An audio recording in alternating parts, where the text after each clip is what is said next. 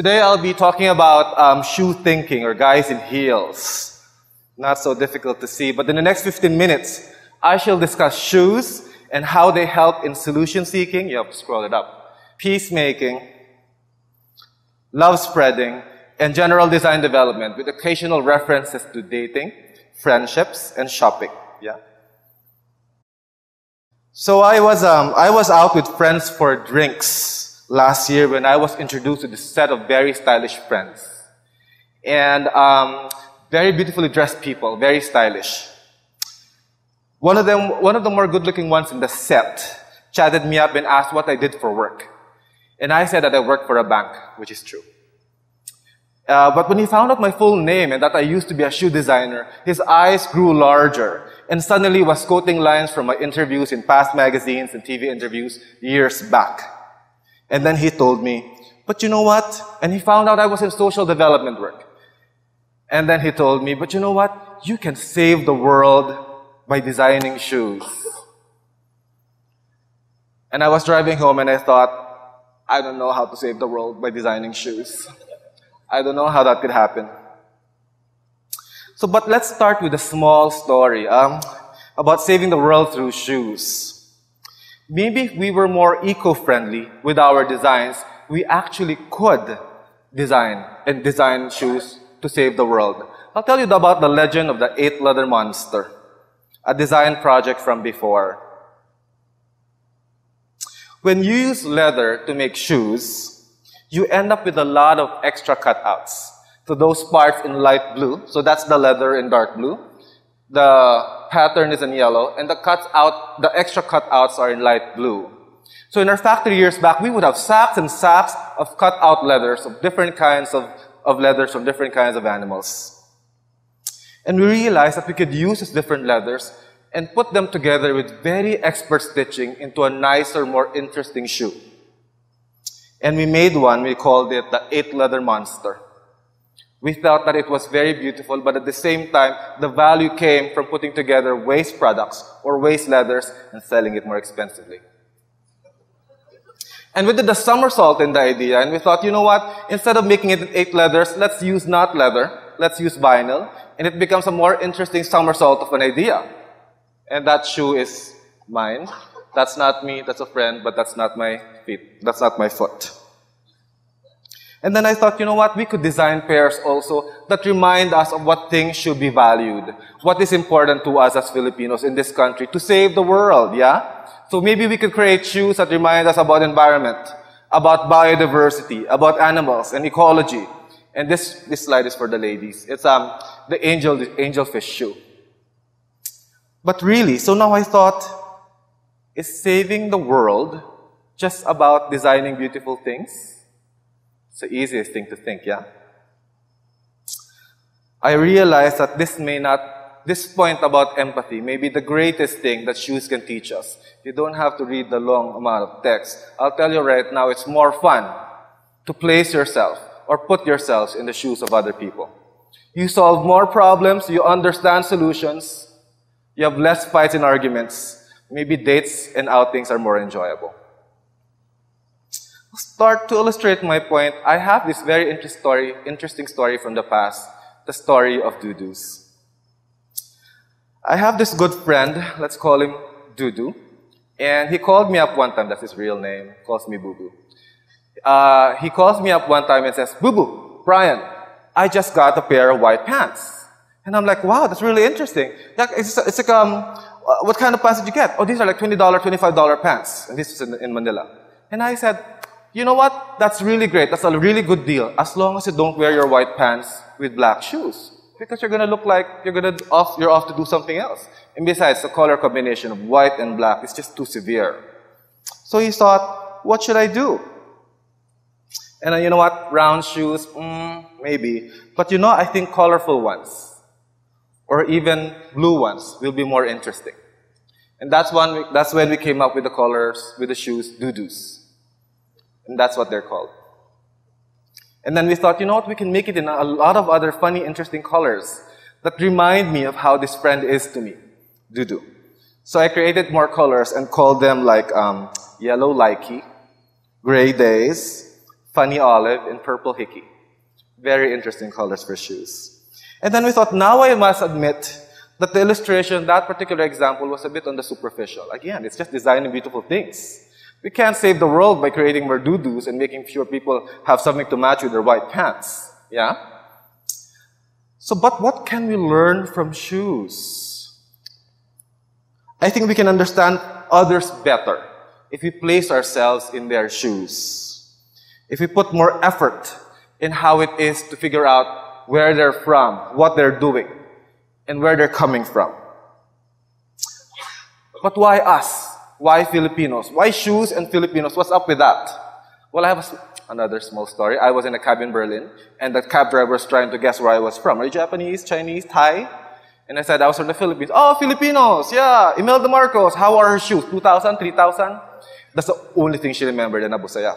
That's the only thing she remembered about, you know, that's the only thing he remembered and top of mind when he saw me. And I thought, wow, people remember us for shoes. And guess what? China could make the most shoes in the world. Italy, probably the best made shoes. Jap- Japan or Japanese will buy the most expensive pairs.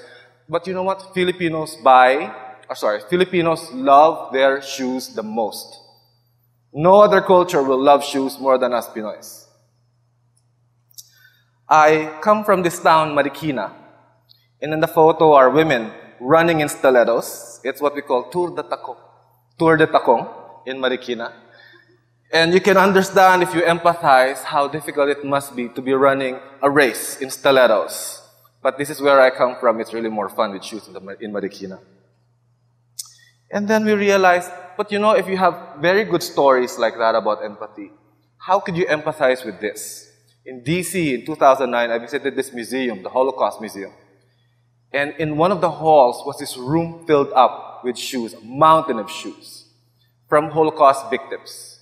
And when I was there, I realized, um, some pairs were larger than mine, some were smaller, some were pink, some had ribbons. The smallest ones, I thought, two-year-olds, three-year-olds, but these were victims too. And then I would count them and say, there's more small shoes, there are more big shoes, there's more women. And then I felt extremely sad. But the point is, when they talked about it in the Holocaust Museum, in this particular Flickr account, for example, everyone would say the most memorable experience they've had of the museum was from that hall of shoes. So from happiness to sadder moments, we have people emphasizing via shoe design. Yeah? On the other side, there's a range of feelings, shoes can bring you sad ideas, but at the same time can make you feel good. We have a pair here from very good shoe designer, Filipino shoe designer, Kermit Tesoro. And this again, this one is for the ladies. And you'll see how the comments, you'll see, just have to count the likes and you'll realize a lot of people have a lot of stuff to like about shoes. You know what? Guess what? It's the only thing in what you're wearing that does not really change size. If you're female, it gets larger when you're pregnant. But for most people, you gain weight or not, you lose weight, it's the same pair. Yeah? I was in a table of four just last week, and this is a story about shoes again, but about empathy or about dating. So we come from political, of shoes in a pile in a Holocaust museum, to about something romantic. I was in this table of four, and, the, and we were discussing about a few days ago, and we were discussing dating and relationships. The question being discussed, and I will have to read it, was how long should two people hang out or date until they become a couple, get engaged, or get married? How long? How long, for the boys, how long should be going out with this girl from the other school to know and to feel until maybe we can call ourselves a couple? The, but you know, the, the, the analogy comes from shoes, and I will have to explain it this way. It should just be like shopping for shoes. You cannot just keep on trying the same pair over and over at some point you will have to make a purchase. Because you know what? If you keep on trying the same pair over and over, chances are you end up ruining the pair for the next person coming in. And at the same time, if you don't, that pair gets ruined. Eventually, no one's gonna buy it. It's gonna be on sale. Who wants to be on sale as a pair like that? Again, an analogy about love, shoes, and relationships. Yeah. You can tell that. And this slide is for the boys, for the guys in the gen- for the gentlemen in the audience. Linsanity. But I don't, I don't have to fit shoes. But this guy in that last conversation was saying, when I buy my sneakers and rubber shoes, Brian, I don't have to fit them much while I'm shopping. I don't have to look through them so much. I don't like shopping and I just buy them and guess what? The shoes fit me eventually. I like a design I like, I buy it, it fits me eventually. And I told him, you know what you did? You just broke in the pair. That's what you call breaking in. You did not adjust to the shoe. The shoes adjusted to you. And that's a difference again about trying out how people are, where they're coming from, and about how they think when it comes to shoes and relationships. So we have this new world of insight from shoes, from making them, buying them, using them, and loving these pairs. The biggest point here is um, if we put ourselves in the shoes of others, there, would be, there would be less fighting less arguments and misunderstandings, and a lot of better designs, maybe even national progress and development, and even enjoyable dates. So to understand ourselves and others, we must learn to put ourselves in other people's shoes. Where did they come from? Where are they coming from? What are they about? Where, what about their families? Who are their friends? The next slide is going to be a very interesting visual. So how does it feel to put yourself in the shoes of others? Pictured here is a pair by Filipino designer Joko Comendador. Very beautiful. But then I imagine, how am I going to be walking in a pair like this? It's heelless, so it works. It's an actual real pair. Or another one here is by Filipino-German designer Monica Fig. And it's called the, spider, the Kiss of the Spider Woman. Beautiful too, all four inches of heels and leather. But to illustrate my point about empathy, I put together this quick, small, mini improv fashion show. So I pulled out um, gentlemen from Xavier School to help, to show us how it feels to empathize with women's concerns, with female concerns. So I've asked three gentlemen very graciously to help us. Hold on, just stay there. Just a minute. I've also asked some of their friends to help in and guide them as they cross or struggle from the right side to the left of my stage. Hold on. Is it that terrible, really? Okay. Stay there. It's to be fine. So if you cue the music right now, we have the fan show. Guys, ladies and gentlemen, guys in heels.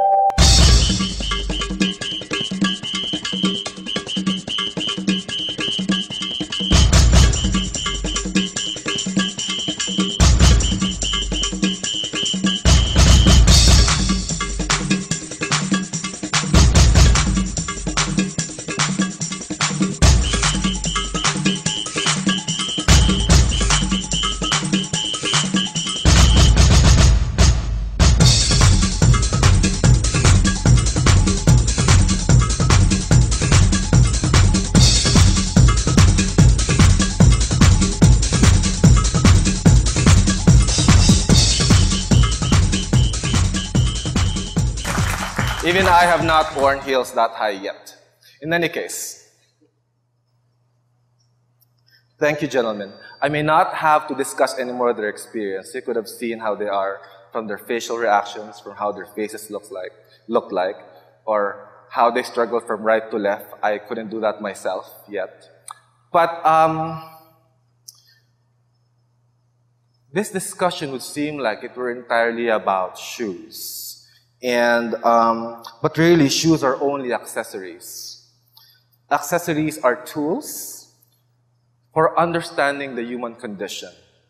Accessory, these shoes are tools to understand our identity and desires, our dreams and individuals, and as a nation. So please, in the next few days, as you go meet your friends, don't try out their shoes, but, but you know what I mean. Thank you very much.